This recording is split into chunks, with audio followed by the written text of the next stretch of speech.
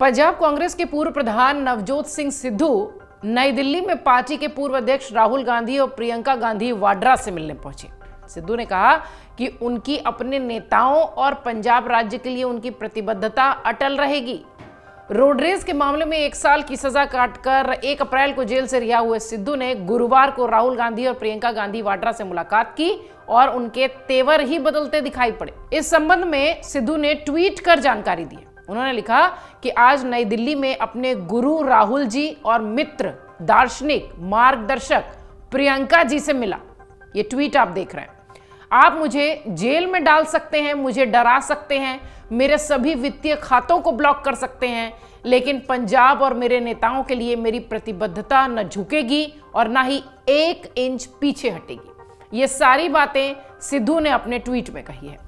सिद्धू को supreme court ने पिछले साल मई में रोडरेज के एक मामले में उन्नीस सौ अठासी का ये मामला था, एक साल की सजा सुनाई थी, जिसमें उन्होंने गुरुनाम सिंह नामक व्यक्ति को कथित रूप से पीटा था, बाद में उसके अस्पताल में मौत हो गई थी। यही मामला था जिसकी सजा वो काट रहे थे। जेल से रिहा होने के तुरंत बाद सिद्धू ने कहा था कि लोकतंत्र जंजीरों में जकड़ा हुआ है और पंजाब में राष्ट्रपति शासन लगाने की साजिश हो रही है। इसकी भी चर्चा हो रही थी। अल्पसंख्यकों को निशाना बनाया जा रहा है, ये बात भी सिद्धू ने कही थी। सिद्धू ने कहा कि अगर आप पंजाब को कमज़ोर करने की कोशिश करेंगे तो आप खुद कमज़ोर हो जाएँगे। ये सीधा निशाना उनका बीजेपी पे था। कांग्रेस के नेता राहुल गांधी को हाल ही में लोकसभा सांसद के रूप में अयोग्य घोषित कर दिया गया था। इस पर भी सिद्धू ने जेल से निकलते ही अपनी टिप्पणी दी थी। उन्होंने कहा था कि वायनाड के पूर्व सांसद सरकार को हिला देंगे। इस देश में जब भी कोई तानाशाही आई है, एक क्रांति भी आई है और इस बार उस क्रांति का नाम राहुल गांधी है, वो सरकार को हिला देंगे। ऐसा कहना था नवजोत सिंह सिद्धू का। जैसे ही वो जेल से छूटे, उन्होंने ये बात रखी। इस बीच नवजोत सिंह सिद्धू जालंधर में 8 अप्रैल को कांग्रेस के दिवंगत सांसद संतोष चौधरी के परिवार से भी मिलने पहुँचने वाले हैं। तस्वीरें हम आपको दिखाएँगे, उनके साथ दुख साझा करेंगे, ऐसी बात भी चल रही है। कांग्रेस ने दिवंगत सांसद चौधरी की पत्नी को जालंधर लोकसभा उपचुनाव में अपना प्रत्याशी फ़िलहाल अभी घोषित किया है।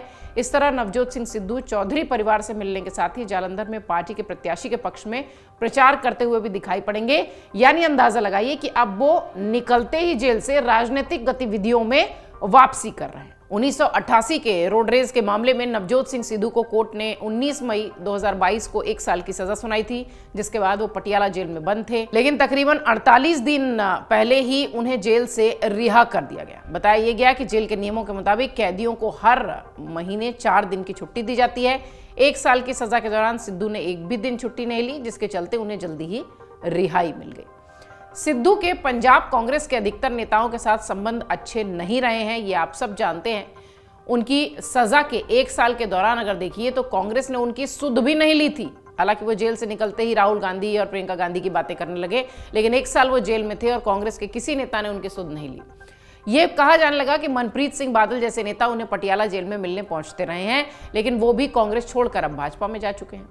दरअसल, कैप्टन अमरिंदर सिंह के साथ उनके संबंध जग ज़ाहिर है। कैप्टन से, मुख्यमंत्री पद छीनने और उन्हें पार्टी से बाहर का रास्ता दिखाने के लिए या यूँ कहें कि उन्हें पार्टी से बाहर करने के लिए सिद्धू को जिम्मेदार बताया जा रहा था।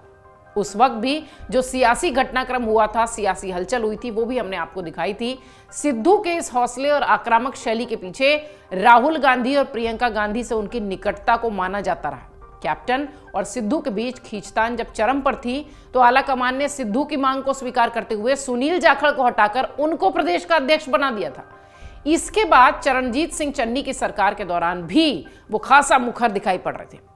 क्योंकि कैप्टन के बाद वो मुख्यमंत्री पद चाहते थे, जिसे लेकर सुखविंदर रंधावा ने भी दावेदारी पेश कर दी और विधानसभा चुनाव में कांग्रेस की करारी हार हुई। तो खामोश बैठे पंजाब कांग्रेस के अधिकांश सीनियर नेता खुलकर सिद्धू के खिलाफ हो गए। हार के लिए उन्होंने सिद्धू को सीधे तौर पर जिम्मेदार ठहरा दिया।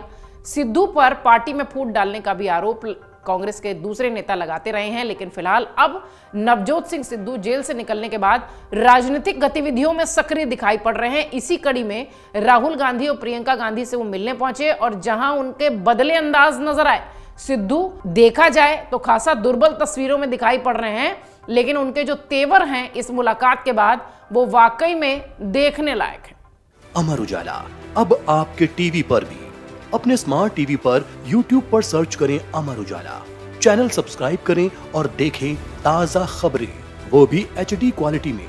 और हाँ बेल आइकन दबाना ना भूलें, ताकि हर खबर हो आपके घर। अमर उजाला। निष्पक्ष निर्भी निरंतर।